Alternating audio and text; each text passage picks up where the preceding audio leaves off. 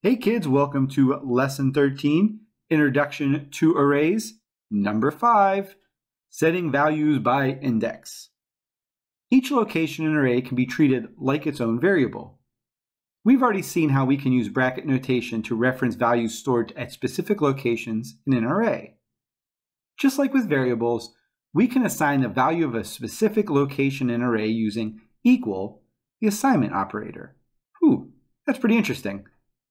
Example, the value at index 0 of the array is set to 10.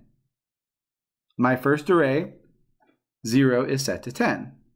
So that's an example of that. So whatever spot is 0 is now going to be 10. We have a do this. Starter code is provided that creates an array of zeros and ones.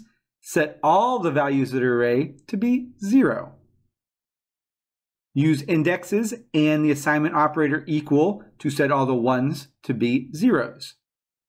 Check the output of console.log to confirm the array only contains zeros. Example shown to the right. In our example over here, we have a bunch of zeros. Looks like we are making ones into zeros, kids. Let's go ahead and take a look at our code here. We have a array, array of bits.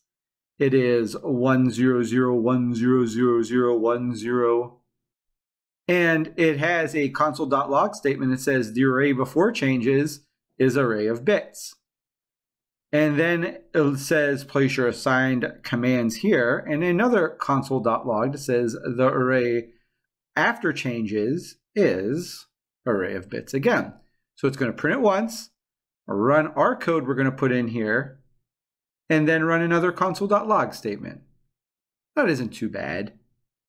How are we going to change these numbers though? I think it's going to be a lot like our last lessons. What we have to do is we have to call the array. So the array here is called array of bits.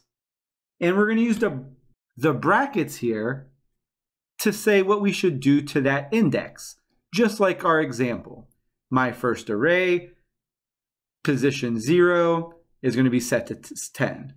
Well, over here, position 0 or our first spot is 1 and we want that to be 0. So I want index 0 to be equal to 0 and a semicolon after that. Like this, I think it's going to go to our 0 position which if you remember from previous lessons, is indexes go from 0 to 9, so 0, 1, 2, 3, 4, 5, 6, 7, 8, 9. This is going to go to the first spot and set that spot to 0. I have two more ones, so I have to do this two more times.